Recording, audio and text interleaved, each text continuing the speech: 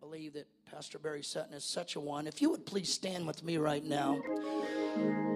We are so honored, so thrilled that God has brought this man. Now, come on, church. Are we going to give this man of God the liberty to preach how God has told him to preach to us?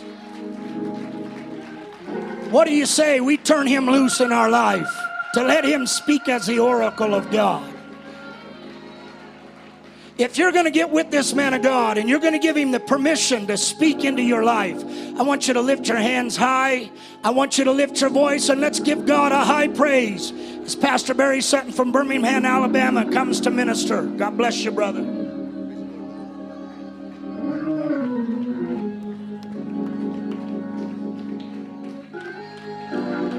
Somebody lift up high praise unto God. He's no God for low praise, He's a God for high praise. Hallelujah. Hey, what a mighty God. And worthy and worthy and worthy. Come on, if He's been good to you, you praise Him. If you're thankful, you praise Him. If you like what He's doing in your life, you praise Him. If He's healed your body, you praise Him. If you're glad for the Holy Ghost today, you praise Him. If you know who He is, you praise Him. Ah, thank you, Jesus.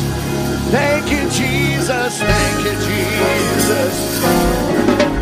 Hey, He's a mighty God. I don't care what anybody says. He's a mighty God. I don't care what anybody says. He's a good God. I don't care what your neighbor says. He's healing God. It doesn't matter what the denominations say.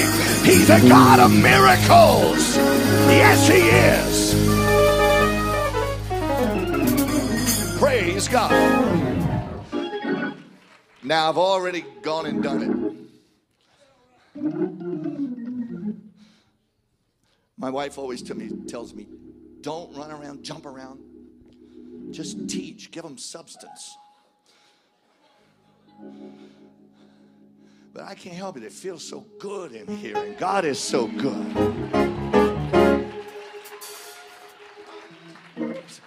Brother Holmes was preaching last night, and he got to talking about how good God was and how blessed he was. Are you blessed? Are you? Do you know how blessed you are? Hallelujah. You got to keep your head up. He's the lifter up of your head. You got to keep your head up. You got to keep looking at those things. You start looking down or behind or around, you get in trouble. But oh, I'm a blessed. Touch somebody by you. Tell them I'm so blessed, it's pitiful. It's pitiful. Praise God. Brother, sister, elder, we appreciate you, honor you today. Wonderful work in this city, great testimony among God's people. Appreciate this conference and all the good work, the, the food and the hospitality last night, and everything from the room and the baskets and all of that good stuff.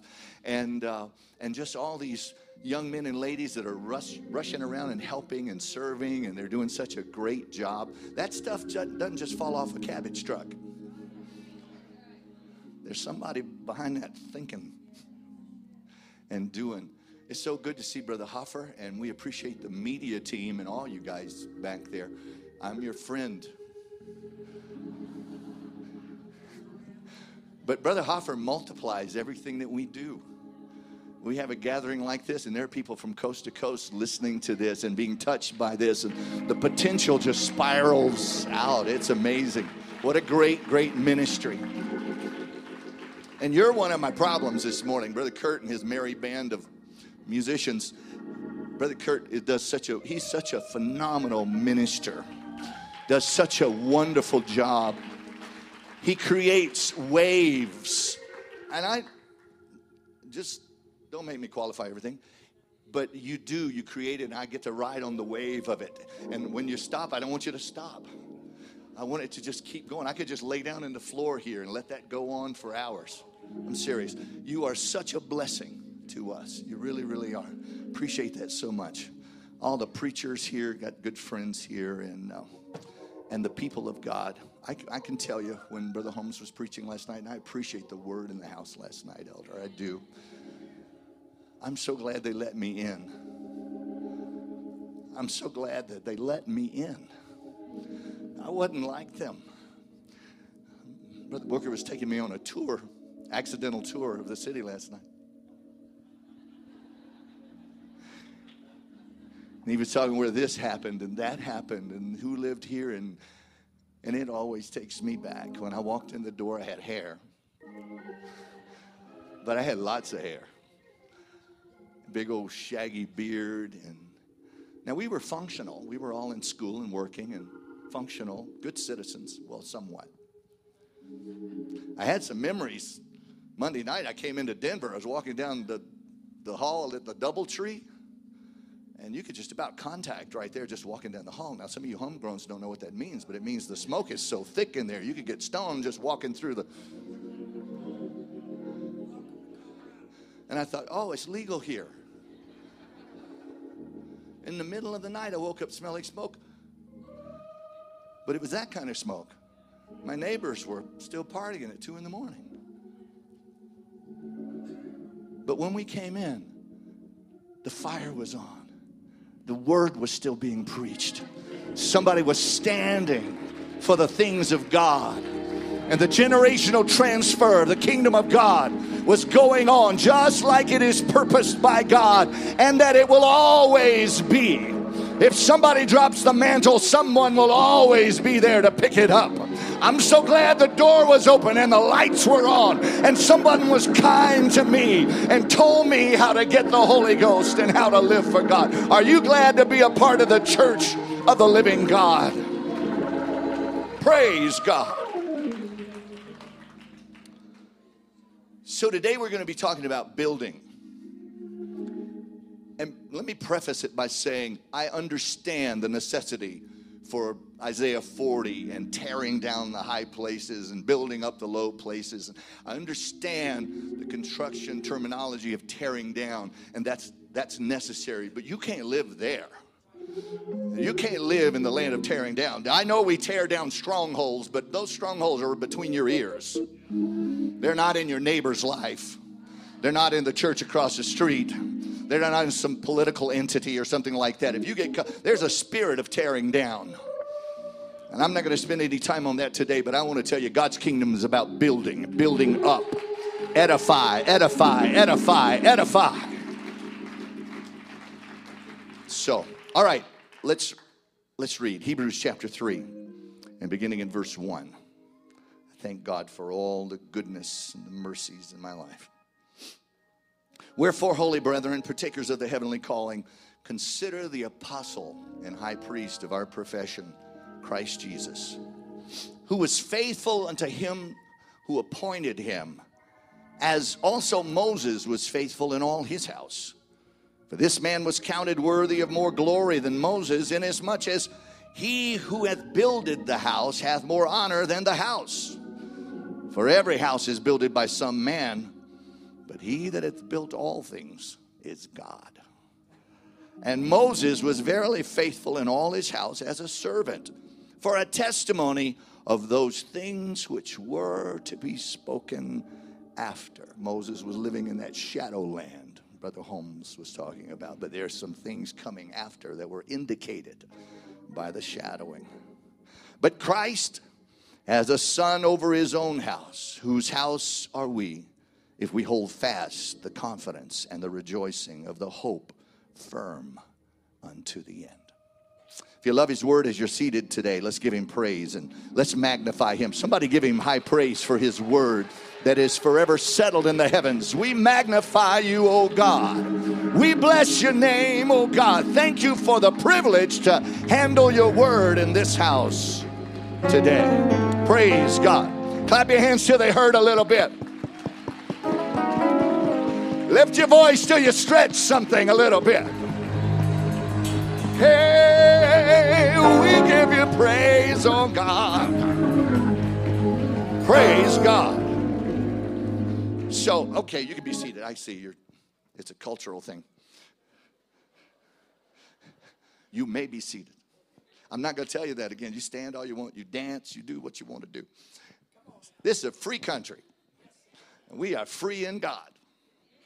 So, okay. Uh, addressing the church. First, in this in this passage, there's this overt reference to the uh, to the deity of Jesus Christ. There's this compare contrast that is established between Jesus and Moses, or specifically Jesus Christ, the man Christ Jesus, and Moses. Consider the apostle and high priest of our profession, Christ Jesus, who was faithful unto him that appointed him, as Moses was faithful in all his house. And so we have this compare contrast between Jesus and Moses. For this man, Jesus, was counted worthy of more glory than Moses.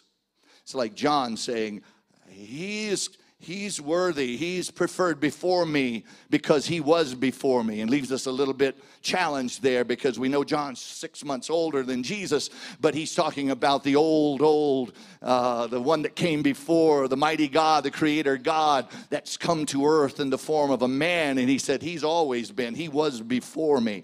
And here, the same implication who was faithful to him that appointed him, as also Moses was faithful in all his house. For this man was counted worthy of more glory glory than Moses, inasmuch as he who hath builded the house hath more honor than the house. He, Jesus Christ has more honor, more glory than Moses. And uh, uh, he, because Moses is building a house, but he is the builder of the house. So Jesus Christ is the builder. And here we begin to hear in this compare contrast the fact that Moses is building a house for God, but Moses is the house. Moses is working a project for God, but Moses is the project. For this man was counted worthy of more glory than Moses, inasmuch as he who had builded the house hath more honor than the house. Jesus builded the house, Moses was the house. For every house is builded by some man. Speaking of Moses' activity in building the tabernacle. But he who had built all things is God. Again, the compare, contrast. Moses is here down on this existential plane. He's building something that is God's something, and it's a process by which men can come to God. And Moses is the builder of it, but he's building it according to the pattern, the temple, the template that he saw in the heavens. And so he is building, but he's building what God has already built in the heavenlies, and he's bringing it down to the earth. He's building an example of it down on the earth. God said, You be careful. You make sure you build it just like I showed you. You're the builder, but I'm the ultimate master builder. You're the project. The thing you're building is the project, but I'm the project manager. Moses was verily faithful in all his house as a servant for a testimony of those things which were to be spoken after. And so all of these things are implicating things to come after. They are types, they are shadows. Moses is handling something that's preaching to us about what's going to come downstream. But Christ, the compare contrast continues, as a son over his own house Moses is building, but he's building a tabernacle, a house that belongs to God. Moses is the project, he is the house, but his house belongs to God. But Jesus Christ was a son over his own house. He has ownership of the house. Moses doesn't own the house. God owns the house. Moses doesn't own the house of his body. That's God's house. Moses doesn't own the house of the tabernacle. That is God's house. But Christ, comparing and contrasting again, as a son over his own house, whose house now we're downstream, whose house are we? So now we're standing tethered together with this passage with Moses and his he is the project and now we are the project and Moses is and builds the house of God and now we are the house of God if we hold fast the confidence and the rejoicing of the hope firm unto the end. So, first in this passage, the first thing that leaps out is this overt reference to the deity of Jesus Christ. He is the creator God come to earth in the form of man. Anything other than that, anything other than the oneness, oneness of God requires a, a conspiracy of ignorance blissful ignorance, like the emperor's new clothes or something like that. Anybody that believes in two gods or three gods or any polytheistic type of manifestation, they are willingly ignorant of what the Word of God has. You can't find a more dominant theme in the Word of God than God is one. Hear, O Israel, the Lord our God, He is one and God was manifest in the flesh. So, so not to spend any time on that at all, but uh, we, we're going to explore today the compare the, the contrasting uh, discussion here. So Moses, like the tabernacle, was the project, and we are like Moses in this passage, and so we are the tabernacle. We are the project. Likewise, we are building the project. And so we're working on it and we are it. For this man Jesus was counted worthy of more glory than Moses, inasmuch as he who hath builded the house hath more honor than the house. God was the builder, Moses was the house. Now we know, we understand, except the Lord builds the house, they labor in vain that build it. But God always gives man a place to participate in his plan and in his process. God put Adam in the garden, and the garden was God's doing. But Adam has a job in that garden. And by the way, Adam blew that. Adam didn't do that. I read in the Psalms, This is the day the Lord has made. We will rejoice and be glad in it. I walked out early this morning. Beautiful. Isn't this a gorgeous day? Beautiful day, wonderful day. And I look at it and I think, look at God. Look at what God does. I, I, I know there's problems and I know there's trouble, but I keep looking up at what God is doing. And I think this is the day the Lord has made. And then I will. God has given us the template. God has given us this measure of time and this space of existence. And in it now, He has allowed us to range free and to exist in free moral agency and free will. And here the psalmist says, I will. Now, there are people doing all kinds of things today. I was behind a lady at the counter at the, at the uh, hotel, and she was already asking what time a bar was opening. And I'm here thinking, I'm going to church. I've been to a bar. I've had my head lay on the bar before. I, I, know what that's all about, but thank God we get to go to the house of God. This is a day the Lord has made. I will. The question is, what will you do with the day that God has given you? What will you do with the opportunity that God has given you? What will you do with the life that God has given you? I will rejoice and be glad in it. So God creates the constructs and God places man within his constructs and his process. And we, by will, decide how we will participate and to what degree we will actualize what God has made available. That that is a launching place for a discussion of praise and worship, but we're not doing that today. Praise and worship is by will. It's not by God taking you and shaking you around and moving you around. You praise God by will and by volition. You clap your hands, you lift your voice, you shout, you dance when you're ready to because God is always worthy. And he also says, I will be glad in it. Give your neighbor a great big smile. Oh, that's pretty scary for some of you. But glad, then, just like worship, is a function of will and choice. So this is prefaced with a construct. Psalms 118, 22. The stone which the builders refused is become the head of the corner.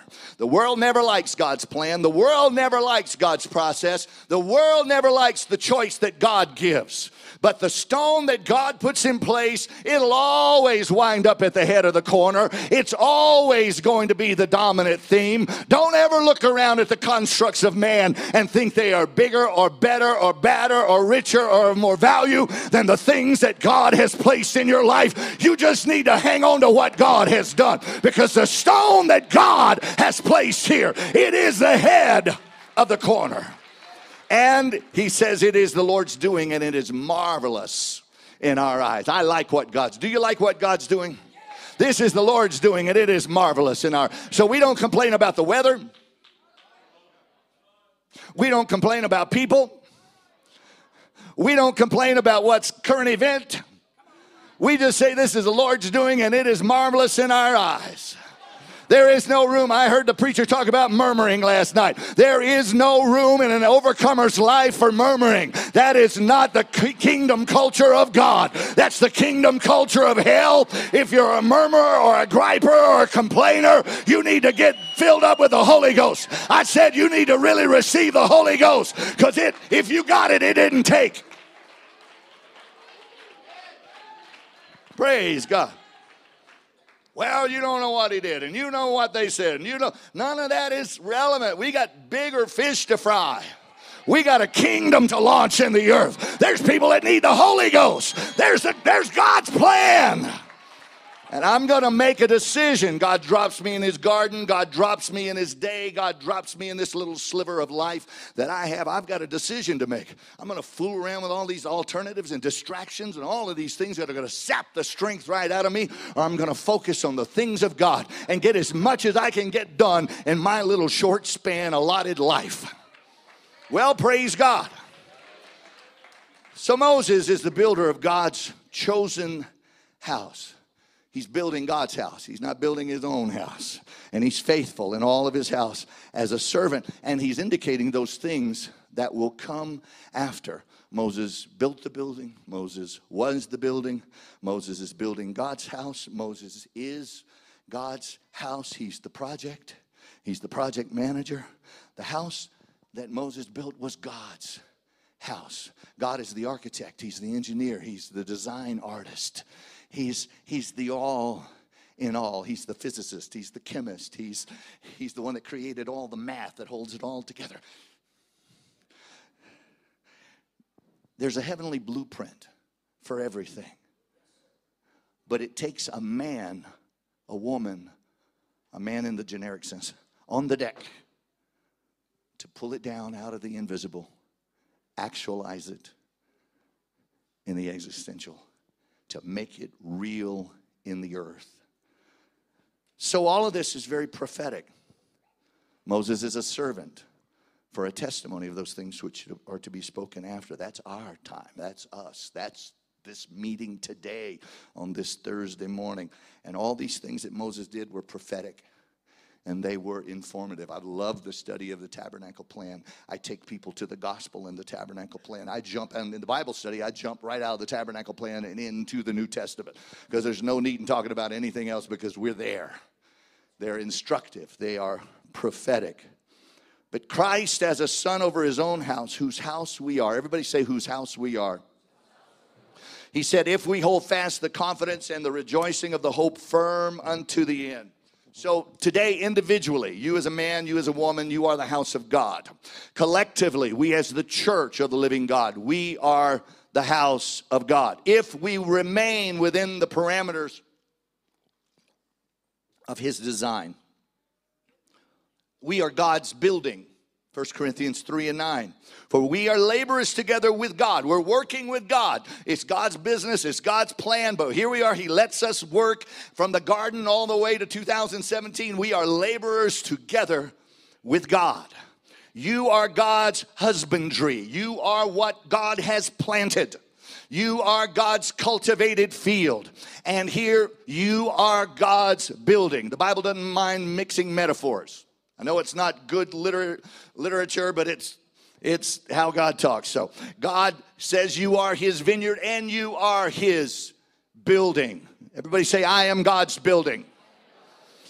And say, I am building God's building according to the grace which is not just the unmerited favor of God, it is the anointing of God, according to the anointing, the empowerment of God, which is given to me. And let me tell you, God has given you already everything that pertains to life and godliness. God has already given you everything you need. Somebody sitting here today thinking, if I just had this or that would happen, if I had that, I'm telling you right now, you have everything that you need. You're listening to the wrong voice. You've got everything you need to do what God has told told you to do. Don't wait another day.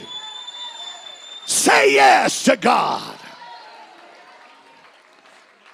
To the empowerment of God, which is given to me as a wise master builder. So Paul said, I'm a master builder. I have laid the foundation and another buildeth thereon. And so this is a generational thing. This transfers from generation to generation. These are themes we recognize and themes we are familiar with. And, and so you may build, but you won't ever finish because there is no end to the increase of his government and his peace. Everybody say amen. Say it with me. There is no end to the increase of his government and his peace. So, what God is doing, it doesn't stop. The best days are not over, the best days are continuing. God is always building, God's always growing. There's, I don't care how old you are. I don't care what happened in the past. I don't care about who failed what. None of that matters. God's kingdom today is burgeoning. God's kingdom today is ready. God's kingdom today is explosive. God's kingdom today is pressing the boundaries. God's kingdom today is just waiting on a man or a woman to say yes to God. Oh, clap your hands just a little bit and shout to God.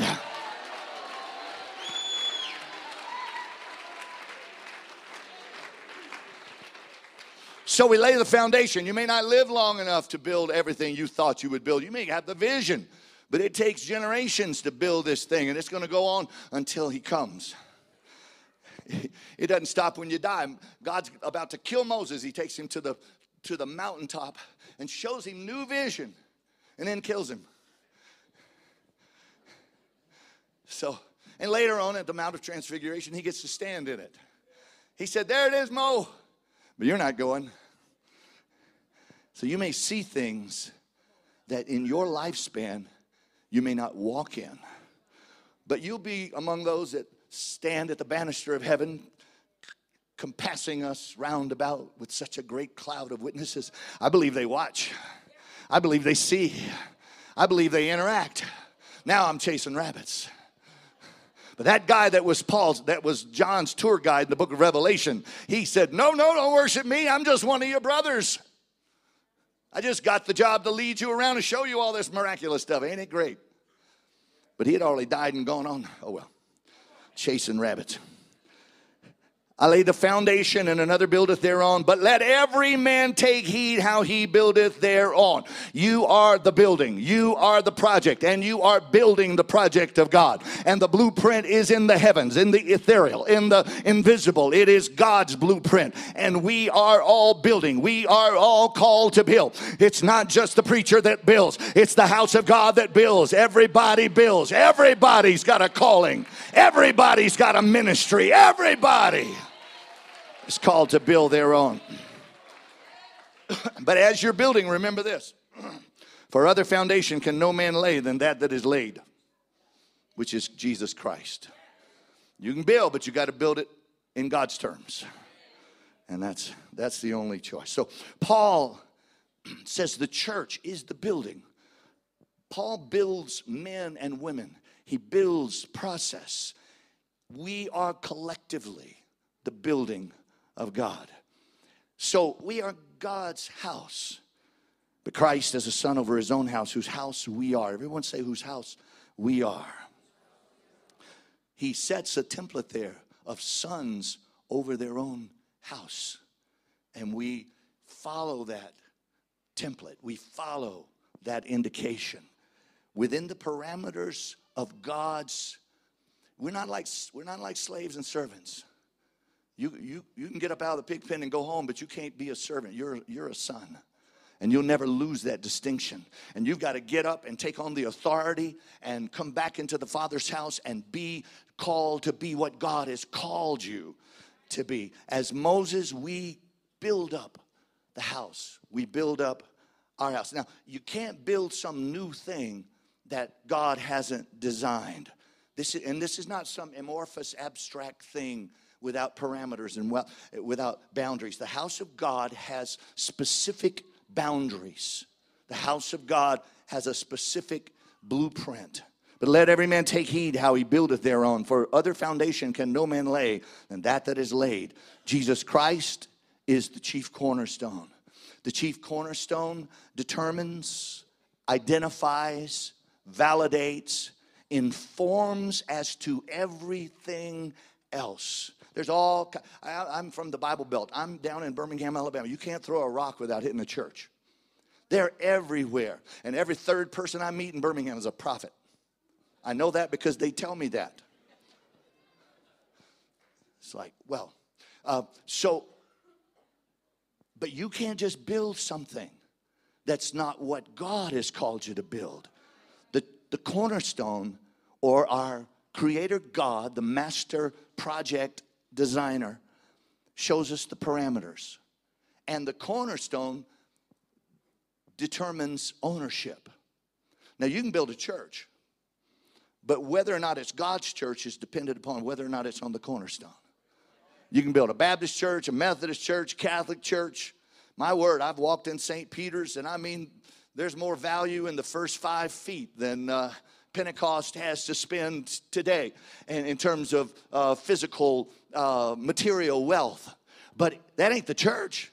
It's not the church. It never has been the church. It never will be the church because it's not built on the cornerstone, Christ Jesus. She's the mother of harlots and everything that comes. Is this going live? She's the mother of harlots and everything that came out of her in the Protestant Reformation. They are the little harlots.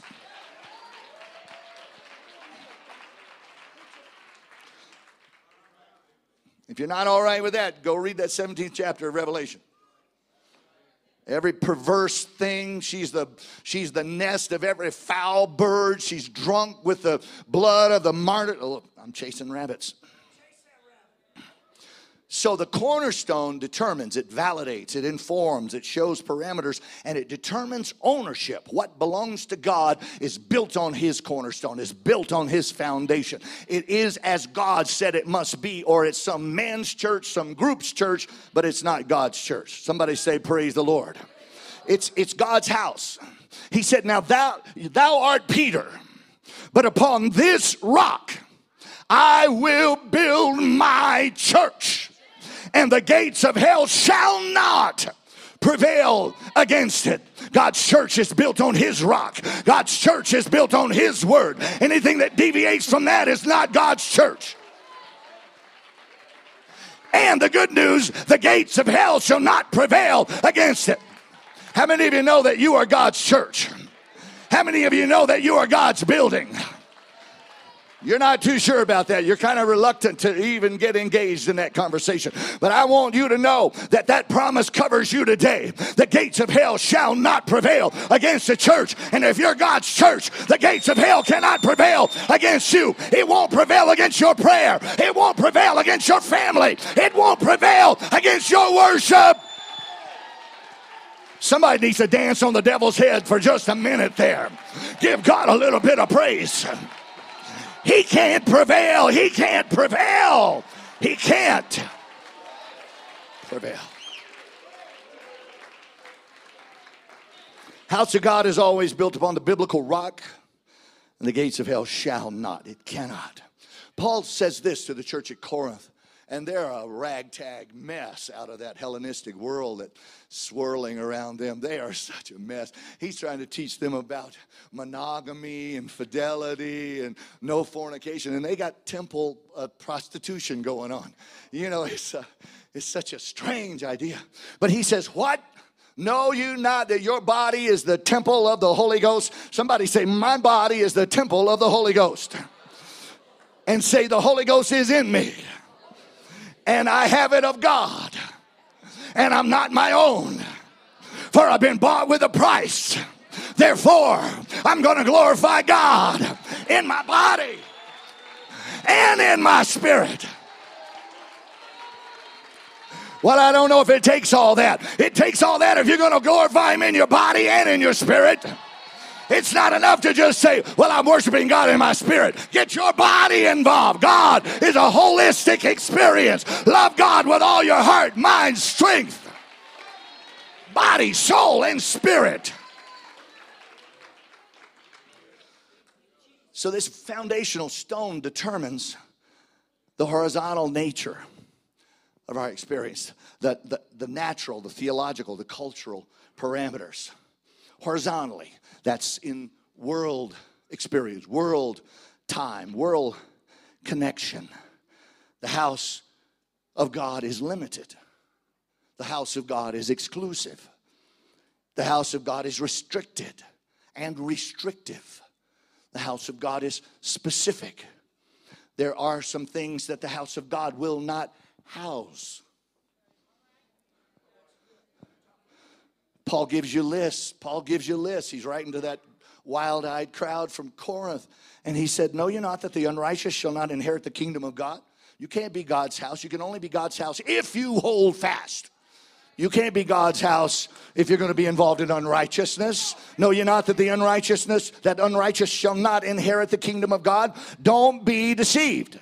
You can't be a fornicator. You can't be an idolater. You can't be an adulterer. You can't be a homosexual. You can't be an abuser of yourself with mankind. Now, I know there's churches that are having homosexual weddings, and there's churches that are teaching all kinds of things that are not like the Bible, but they're not God's church. They got off the stone somewhere. They're not built on the rock Christ Jesus. They'll tell you anything, and the culture tells you you ought to feel that way. And the culture says don't talk like that. And the culture says don't preach like that. But it's in the Word of God. And if we're going to build it, we're going to build it by preaching, and we're going to build it by prayer, and we're going to build it on the cornerstone of the Word of God. You can't be a thief, which means you got to pay your taxes and your tithes. Can't be covetous or drunk or a reviler or an extortioner, and you won't inherit the kingdom of God. And such, this is good news, and such were some of you now you've been washed, you've been sanctified. Are you glad for that? Justified in the name of our Lord Jesus Christ.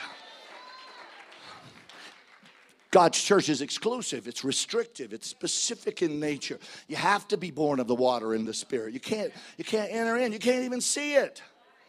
You can write books and live a whole lifetime and stand behind a pulpit and talk about these things, but if you're not born of the water and the spirit, you're handling somebody else's mail. You're not even involved in it at all. Works of the flesh, adultery, fornication, uncleanness, lasciviousness, right into the Galatians, the same list he wrote to the.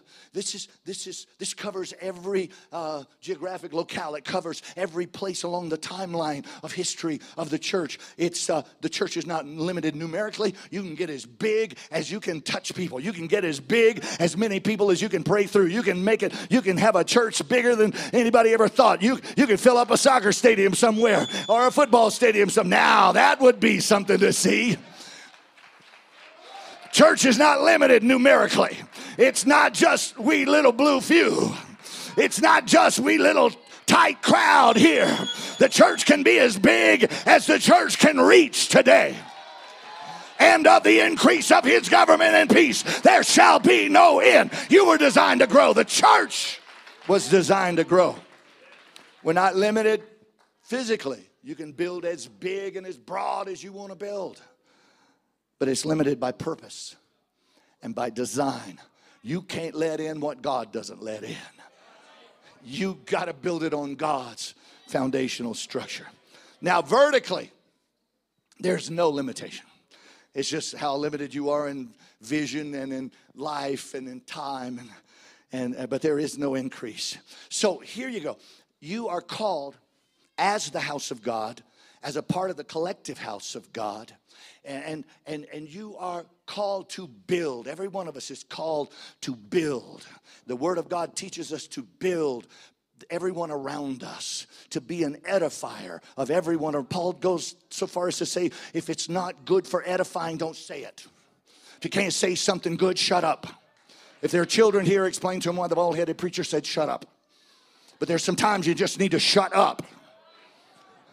So you're going to build three houses. You're going to build your personal house, which is your body bought with a price, filled with the Holy Ghost, that belongs to God, and you don't own it. You're the project manager. You're building it, but it doesn't belong to you because you came to an altar and you said, Please save me. And he said, Okay, I will, but now I own you. And the day you don't want him to own you is the day you walk away from his kingdom. You're going to build your personal house, which is your body, your personal life. You're going to build your familial house as Joshua was speaking about when he said, As for me and my house, or when God says, Write it on the doorpost of your house, or when they're putting blood on the door of every house, there's some there's responsibility there for your house. So you're gonna build you. You're going to build your familial house and you're going to build the corporate or collective house of God, which is the church collectively. You are the church individually, you are the church collectively. You have a mandate from the Word of God to build all three of these houses. The stone, the foundation, Ephesians 2. Now, therefore, you are no more strangers and foreigners, but fellow citizens with the saints and of the household of God. We are God's household and are built upon the foundation of the apostles and the prophets. That just simply means what they taught, we teach. What they loved, we love. What they cautioned against, we caution against. What they preach, we preach. Amen. You know, it's so crazy. I, first heard the I first heard the uh, the witness of Acts two thirty eight in the gospel. I was twenty years old. We were we were uh, out of church. My wife was Presbyterian. I was raised Baptist. We came to apostolic truth because they were the only ones that consistently had biblical answers to our incessant questions. And uh, I went back to my old Baptist pastor, Brother Jimmy. I said, Brother Jimmy, can you help me here? Yes, I will, son. And, uh, and so he, I opened up the Bible and I said, Can you reconcile Matthew 28 19 and Acts chapter 2, verse 38? And he looked at me and he closed the Bible. And when he did, it went boom. Closed the Bible and said, I'll take Jesus' words over Peter's. And I said, that is remarkable. I sure appreciate your time. Thank you so very much. You have helped me immeasurably because I never went back there. Because he said, he said, Jesus is number one apostle against Jesus. He put the, the word of God at odds against the word of God. He's twisting and torturing it for the sake. You don't ever close the Word of God. You may not understand the Word of God, but you burr down. You get in prayer. You find the answer to what God has said, but you never close the Word of God. And you take the Word of God in context, and you take the Word of God in synthesis. You never pull it out and tack it to the wall all by itself. Somebody say, Praise the Lord. We're fellow citizens with the saints, the household of God, built upon the foundation of the apostles and the prophets. Jesus Christ, himself, the chief cornerstone, in whom all the building fitly framed together groweth into a holy temple in the Lord, in whom you are builded together for a habitation of God through the Spirit. And he's not just building you and having you build yourself for just some decorative purpose, but he wants to live within you. He wants to take up habitation within you. He wants to dwell, present tense, right now with immediacy. He wants to dwell within you. You've, and He won't live in any old house, and He won't live in any old place. It's going to be His house. Founded on the cornerstone, founded on the apostles and the prophets. It determines everything. So Isaiah talks about it. He says, Therefore, Thus saith the Lord God, I, I lay in Zion for a foundation, a stone, a tried stone, a precious cornerstone, a sure foundation, a perfect stone with perfect uh, edges and perfect measurements and per- so perfect that you could run a line. He says, Judgment will I lay to the line and righteousness to the plummet. He said, I'm taking every horizontal measure off that perfect stone. I'm taking every vertical measure off that perfect stone. Horizontally, you can go as far as you want, Paul. You can go from Jerusalem up through Corinth and Ephesus. You can go around Asia Minor. You can go all the way to Rome, Paul, as long as your little string that you're pulling, as long as you can look back to Jerusalem and see that it's right nestles right up against that, that chief cornerstone, and you're in good. You can go as far as you want horizontally. You can go as far as you want to go vertically, but it's got to match up with what God. The old timers used to say, "You better line up." I'll guarantee you, they got that axiom from the Word of God. Everything judgment lines up. What is right? What is wrong? What is of value? What is beautiful? What is good? All determined by the stone that God has established in his kingdom. Praise God. You can build as far as you want, as high as you like, as long as you are indicating the fine points of that chief cornerstone judgment and righteousness. Paul calls it the pillar and ground of truth. The Word of God is the ground of being for the church. So, uh, I, should I do this? Should I go here? Should I be involved in this? Should I embrace this? Well, it's so easy. Here's the line. There's the line. I always want to be on God's side of the line. This is the Lord's day. This is the Lord's doing. I'm going to rejoice and be glad in what God has done. Now, they may reject him over there, but this is the stone that the builders rejected. And I'm, I'm standing on it. Hey, why are you standing on that stone? That everybody, let me tell you something today. I live in the city of Birmingham. There's a gigantic, uh, what whatever you call those things. Big old thing there where, where people go instead of going to church. They call it a church. But I don't know what it is. But I know there are apostolic churches that have come there to learn how to do church. And it takes me a minute in stunned silence. Somebody has to wipe the drool off my chin. I'm, wait a minute, wait a minute an apostolic church came to my town, didn't call any apostolic churches, came to this great big old non-denominational structure to find out how, and they go home and they change their lights and they and they all they all get in the uniform with the jeans and the and the little And I guess they're trying to break away from traditional structures, but they've created their own little tradition there. And you can see them a mile off. I can see them in the airport. I know when they're coming. We were at, we were at, uh, we were at the little conference there in Springville, Alabama at Ignite, and uh, and uh, Brother Miles Young was there, and his children were there, and his new daughter-in-law was there, Boston's wife, and she's walking into a coffee shop in Birmingham, Alabama, and she runs into a guy, and she says, "Is that you?" She calls him by name, and he is he is a grandson of of uh, a guy that when when I prayed through was one of the icons in the church. And, and and I watched that family. And you know I have great respect and regard for all of these elders that were there when I when I prayed through. But now I'm seeing their their children and their children are saying it's not on that stone anymore. It's not over there anymore. Those old paths those old ways they're not getting us where we want to go. Look at the big crowd that we have. Look at the big place that we have. This must be right. I want to tell you I have felt the power of God in a Nipa hut in the Philippines. I have stood on a mountaintop in a third world country with no church at all and felt the glory of God. But you can't get what God has unless you're on the foundation stone, Christ Jesus, and the Word of God. Somebody give God a little bit of praise and magnify Him.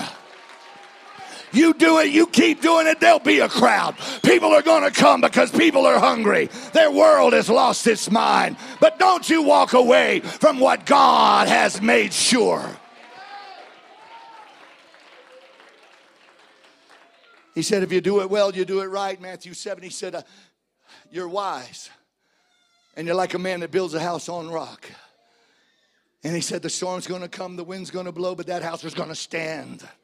Is there somebody in this place that can say, I've been through some storms, I've been through the flood, I've been through the fire, but I was standing on the word of God and God was with me? I can't answer every question for every wounded, broken heart. I can't answer every cynic's bitter plea, but I can tell you this I've been through the fire, I've been through the flood, and God has been faithful to me. Is there anybody in the house that can say, God has been faithful? God has been faithful.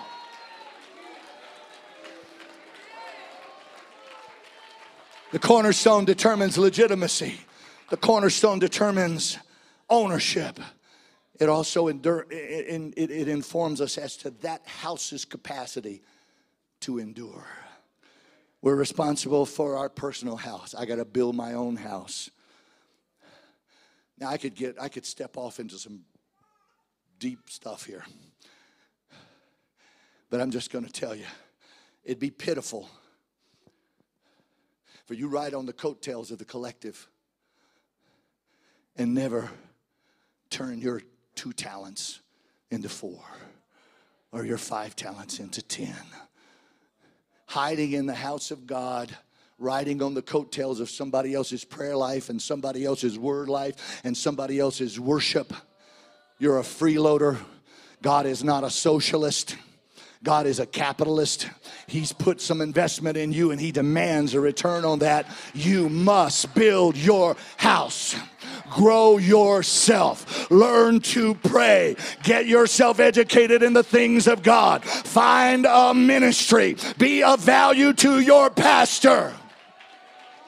Stand in the house of God, and you may be small in your own eyes, poor in your own eyes. But if you come in the power of God, God can turn a sack lunch into something that feeds a multitude. It doesn't matter how much you have, it just matters that you use it for the kingdom of God. Build yourself, educate yourself, build yourself.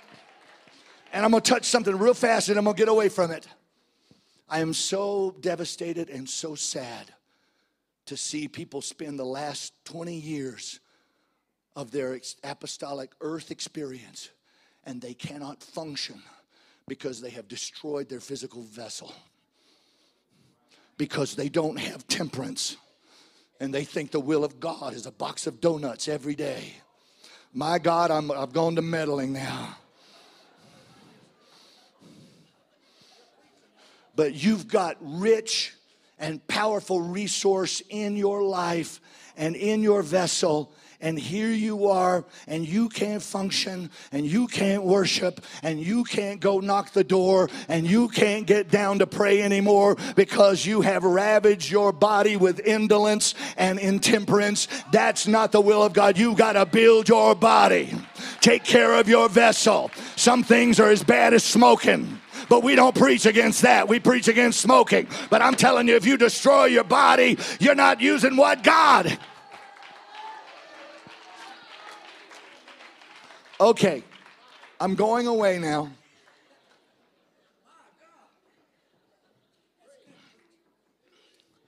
We, hear, O Israel, the Lord our God is one Lord, and thou shalt love the Lord thy God with all thy and and it's going to be holistic. It's going to be body, soul, and spirit. I am responsible to God for my body.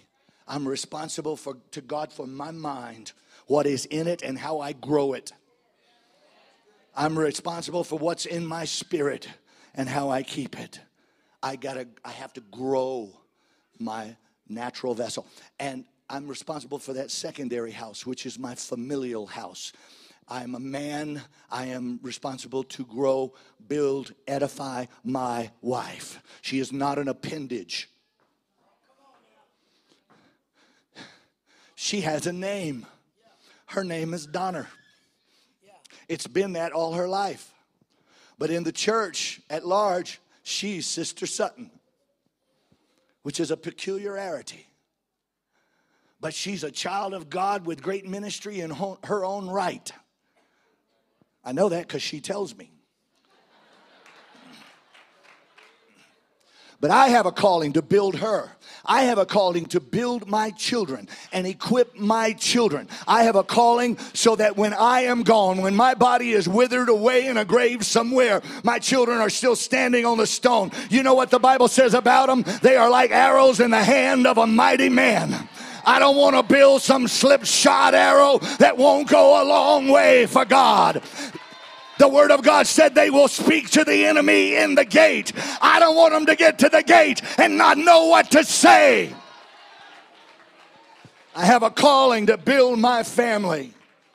As for me and my house, I believe in the collective house, but I really believe this, and this is how we this is how we schedule it at home. You do what you want, and you do whatever your pastor teaches you today. But we draw concentric circles. There's a dot in the middle of the concentric circles. That is you.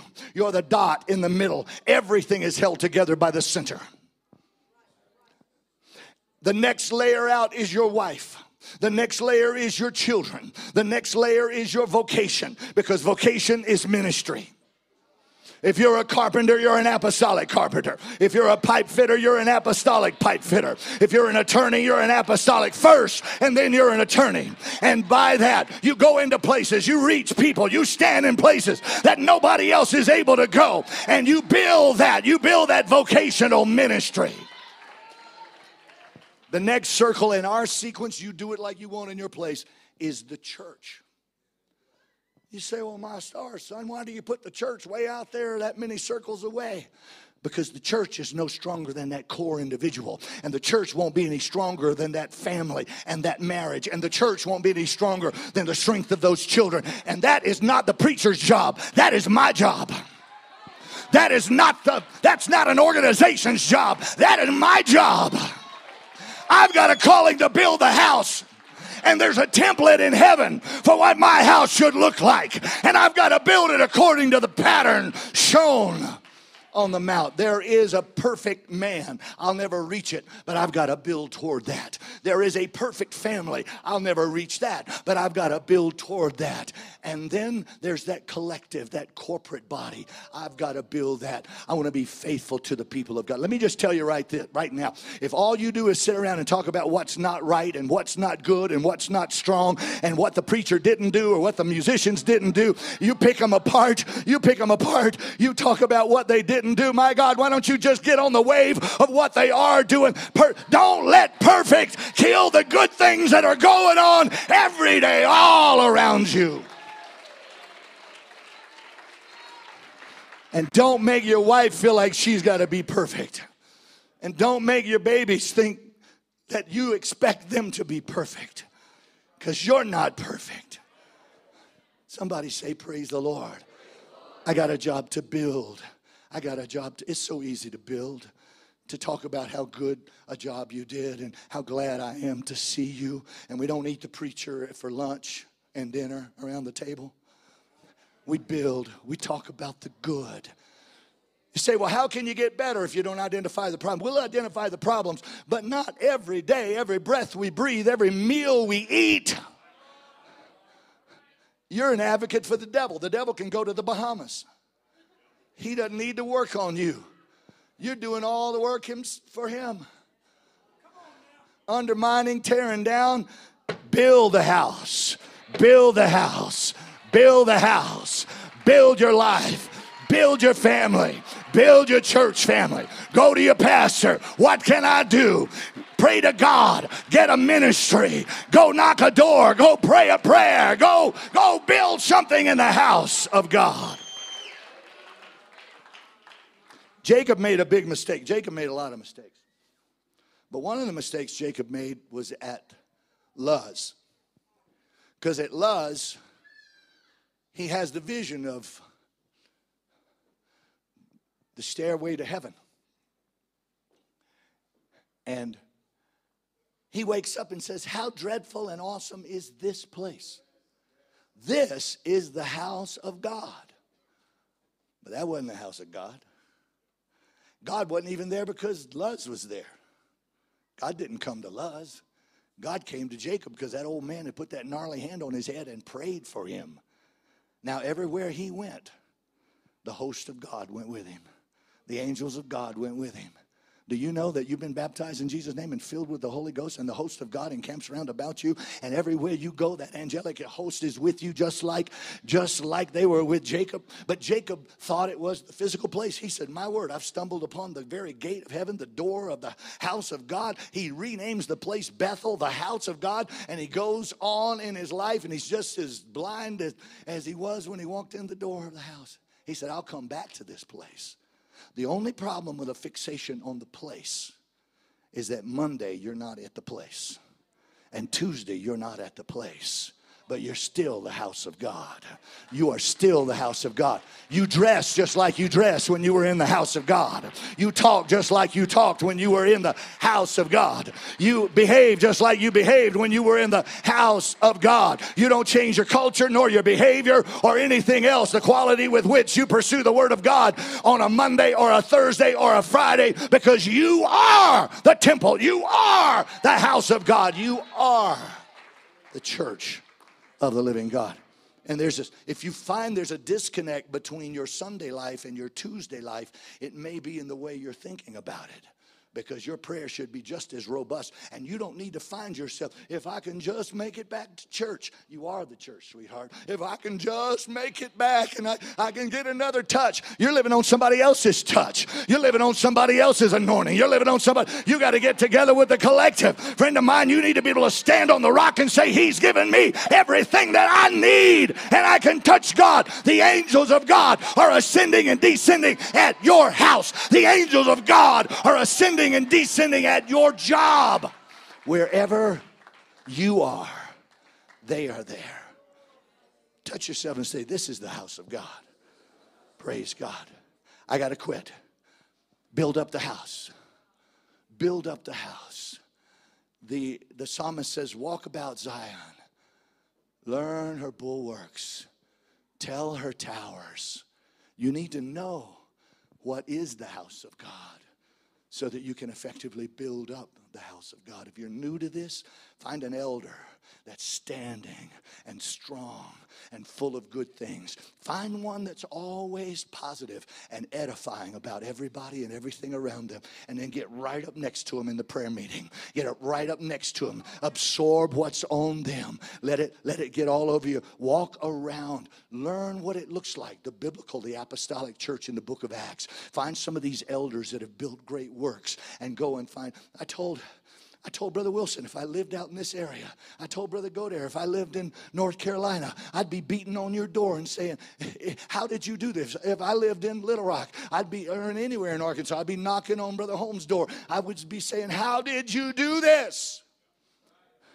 And Brother Godare said, But they're not. And Brother, and Brother Wilson said, But they're not. They're not knocking on the door. I, it, it, it just, it escapes me. It amazes me but you need to tell the towers, find out how to build the house of God. Praise God. Brother Kurt, come. Somebody come. Give them some hope. Give them some reason to believe. Everybody say, build the church. By wisdom is a house builded.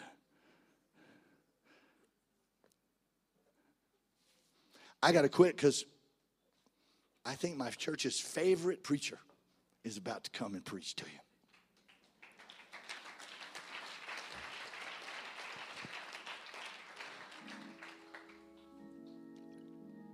Nobody in the world has a bigger heart than Larry Booker. Phenomenal, phenomenal, wonderful vessel in the kingdom of God. I want God in the house. I want Him in my house. I want him in my familial house.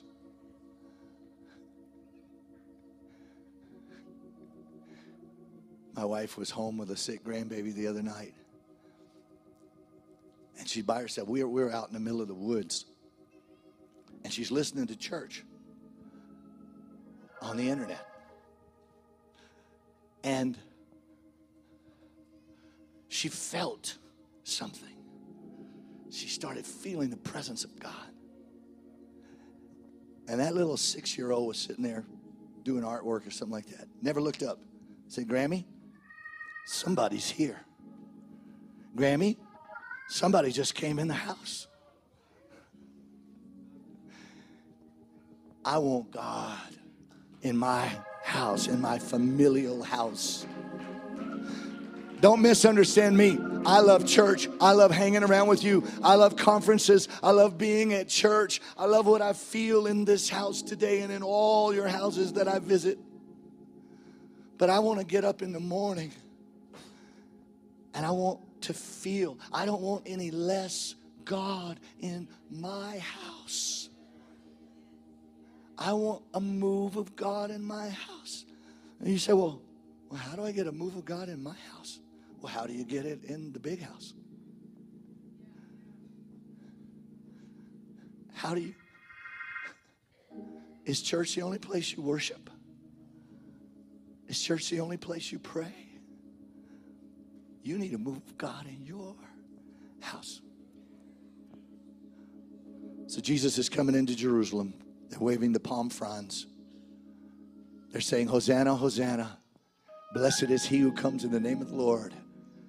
Praise ushers him down from the heights, down into the city, into the temple complex, and into the house.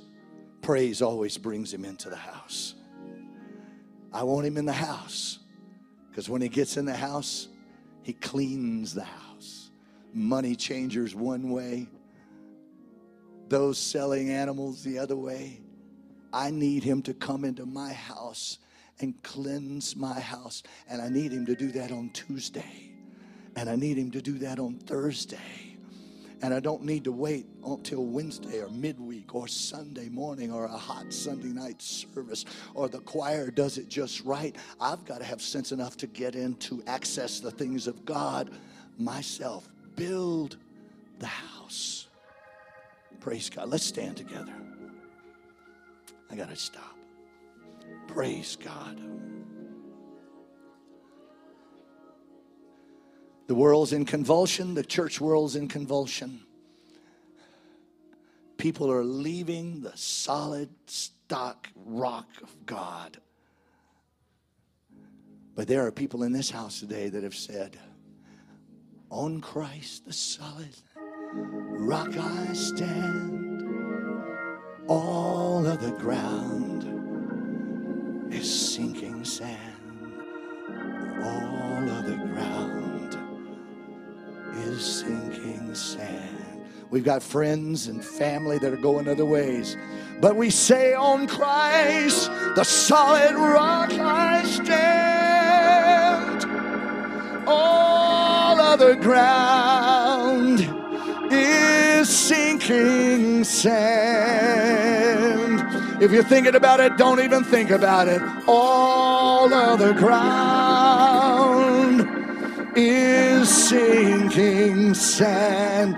Somebody that hasn't got a made up mind yet, you need to step out and you need to make up your mind today and say, On Christ, the solid rock I stand. All other ground. I'm going to do it just like my pastor did it.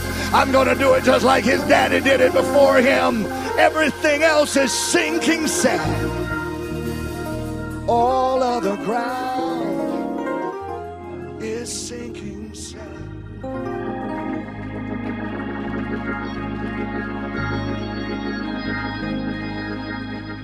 My hope is built on nothing less than Jesus' blood and righteousness. I dare not trust the sweetest fame but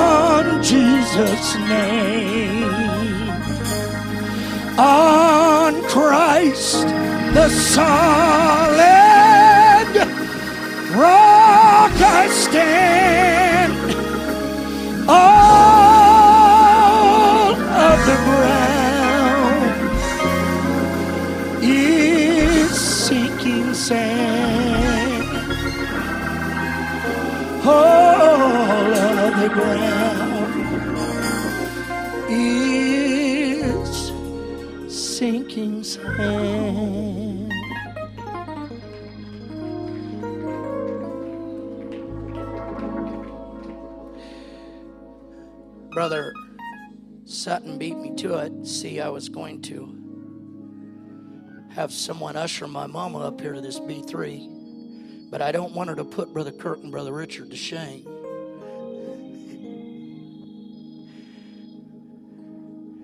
because we would be in that old church. We'd make peanut brittle till one o'clock in the morning, Some of you don't know what peanut brittle is. You need to thank God you don't know what peanut brittle is. And my mama would pour that candy. We'd make a thousand bags a night. She'd mix that.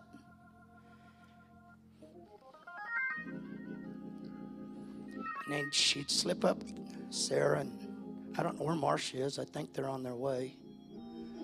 Anna and they were little old bitty things.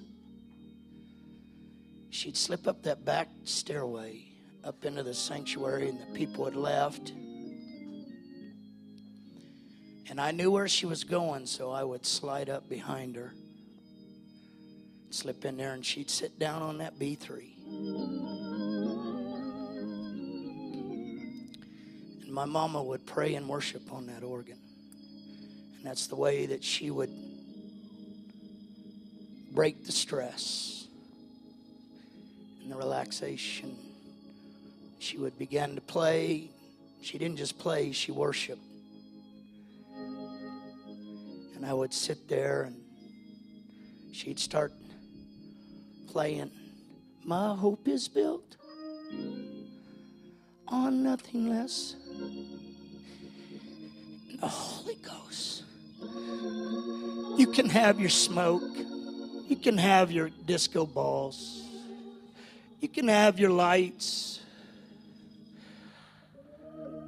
I was sitting in a hospital room, Brother Cass, Sister Cass, watching Sister Laverne Cass.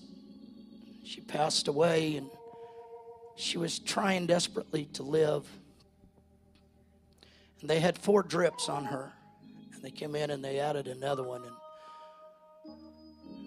the emergency doctor that was actually a trauma doctor came in and he said reverend i've never seen a lady that wants to live so drastically. He said i have never seen anybody with this many drips on that was still alive.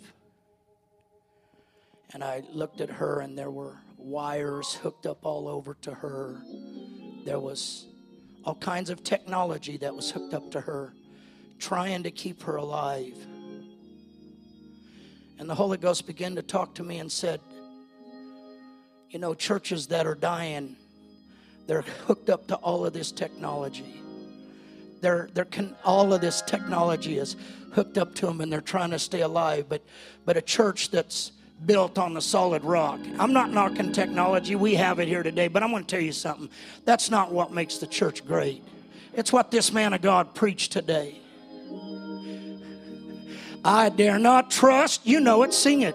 The sweetest fame, but only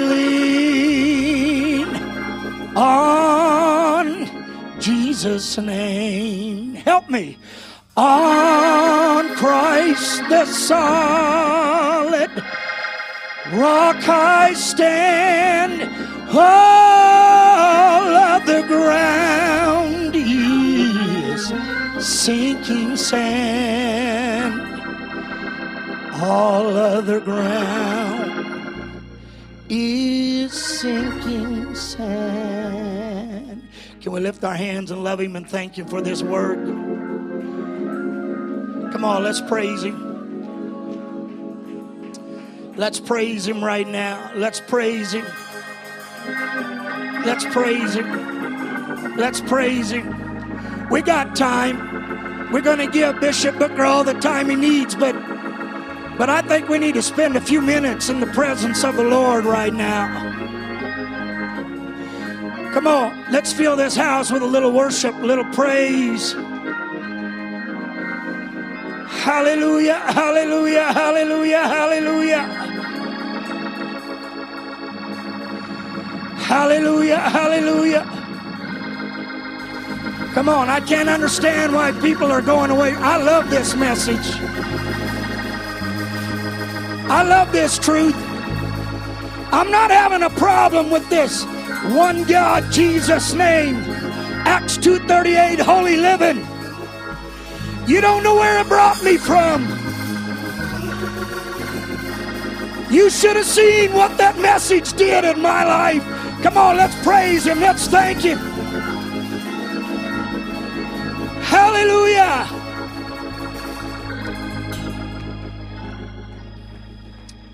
Hallelujah, hallelujah, hallelujah, hallelujah. Praise God. Oh man, somebody clap your hands and praise. Woo! What a refreshing move of the Holy Ghost right now.